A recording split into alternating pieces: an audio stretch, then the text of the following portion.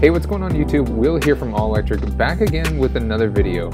And today, this is the intersection test video number six. If you saw intersection test number five, you're really familiar with how Autopilot 2.5 hardware performs on this road and the trouble that we're having where the car wants to transition mid-intersection. So we are in the right lane trying to head straight through the intersection. This is footage from test number five here and we are trying to go straight through the intersection, but the car wants to go over to the left-hand side, even though we have traffic in front of us. And now with the newest software version, we're actually able to test it being the first car because we can slow autopilot all the way down to zero. Huge shout out to Akramatool and Nikola Pro supporting this channel at the all electric tier. Thank you guys so much for supporting me on Patreon. So all the clips in test number six are running 2019.40.50.7. But if you noticed already, you can tell that I'm not in my white Model 3. Yes, that's right. Check out the center display. I'm actually in my red Model 3, and I want to talk to you about why that matters. If you've been following the channel for a while, you know that our red Model 3, we just took delivery of a brand new 2020 model, first time that they ever started counting them as 2020s in late November, has Autopilot 3.0 hardware. So it has the most up to date or the FSD computer. And another good way to tell that is if you look really closely, we can see that it's actually showing the stoplights in there. Although it's not rendering them correctly, I'll touch on that later in the video.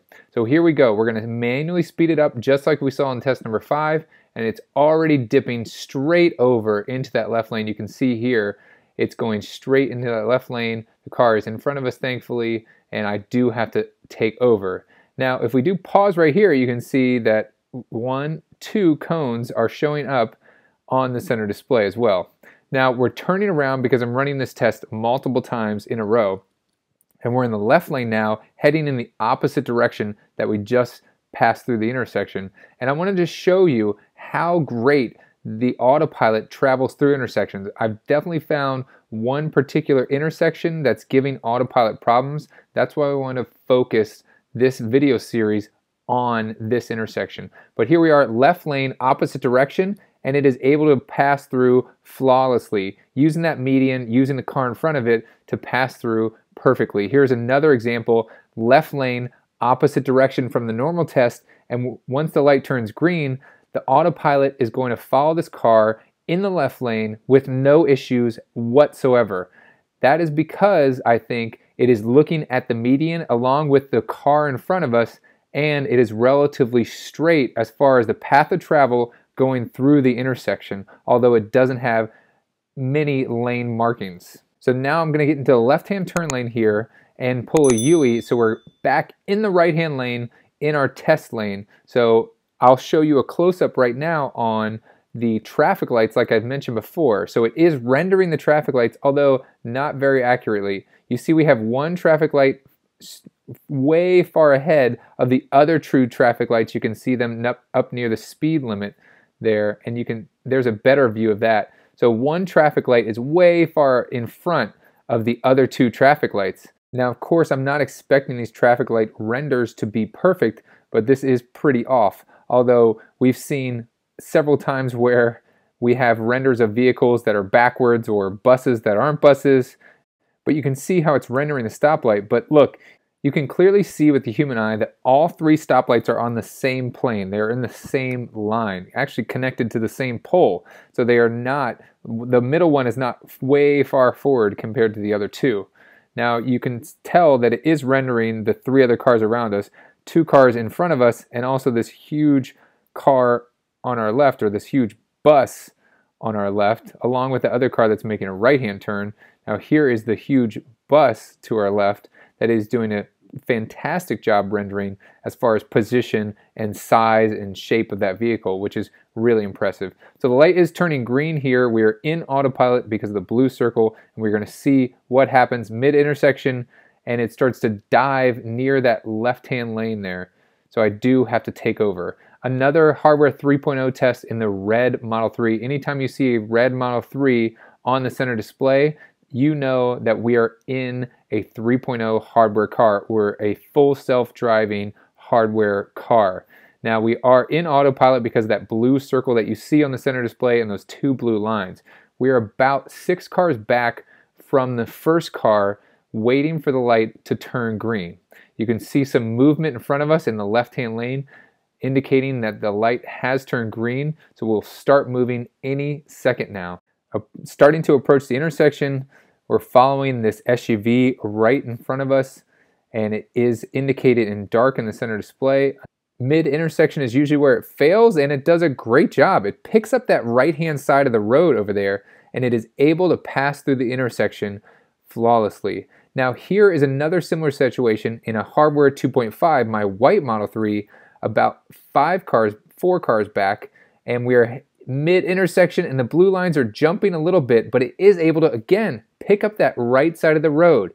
So really impressive compared to the hardware 3.0 car, which does about the same thing, although we didn't see the blue lines jump back and forth compared to the hardware 2.5 car. Like you saw here, the autopilot lines are jumping back and forth. It's almost less decisive compared to the hardware 3.0 car. So back in the hardware 3.0 car, slowing down, we are going to be car number one. And again, this has only been possible since this last software update, 40.50.7, in that it is allowing us to have the speed of autopilot below 18 miles per hour. Previously, that was the minimum. Now we can take it all the way down to zero, which allows us to stop here at a stoplight like you see, waiting for the light to turn red manually while maintaining that autopilot. You can see the blue circle is still on. I still have two blue lines moving forward, although I'm going zero miles per hour. Once the light turns green, that's when I use the right scroll wheel to scroll it up to increase my speed. And you can see almost immediately the car wants to go over to that left-hand lane, indicating to me that the car is trying to use that median as a guide, that center concrete median as a guide in order to know where to go because there is limited to no lane markings for that right hand lane. Let me know what you think is happening and what the autopilot is seeing down below in the comments. So we're going to make another U-turn and go and get another test, another 3.0 hardware test. I'm in the red Model 3 here autopilot engaged. This is a little bit of a tricky game, and it actually got disengaged on me. I re-engage it as we get close, but I'm not able to slow the car down in time, so I have to apply the brakes before I end up mid-intersection. So definitely, if you're trying to do these same tests like me, be really careful. And once you get close enough to the intersection, it is not going to let you engage autopilot. It's actually not allowing me to do it here, like you can see. Just something to keep in mind if you guys decide to go out in your Model 3 or Model S or other Tesla vehicle and try this out for yourself. So we are in a hardware 2.5, my white Model 3 here, heading in the right-hand lane, going through the intersection like we saw before, although you can see it diving to that left-hand side, whereas previously in that other test that passed, the car was able to maintain, although it did skip those blue lines jumping left to right, this time it just was committed to moving to that left hand lane, which ultimately made me take over so I didn't go into that left hand lane and uh, impact any other vehicle. Right hand lane, hardware 2.5 car following this blue van in front of us. We are engaged in autopilot with those two blue lines, and let's see what happens mid intersection at the point where it usually fails. And you can see there, it is able to maintain that right lane position, although similar to that other past test with the hardware 2.5 car, we saw the blue lines bouncing all over the place. Check out those blue lines. Although the lines were bouncing all over, it did maintain that right lane position and allowed it to carry through and I didn't have to disengage as a driver. So I found during my test that the hardware 2.5 car actually passed more tests than the hardware 3.0 car. Definitely let me know what you think down in the comment section below. I know that Tesla is working on writing the code specifically for the 3.0 computer, but I'm not sure we are quite there yet. That's probably why they are limiting the retrofits to only specific customers.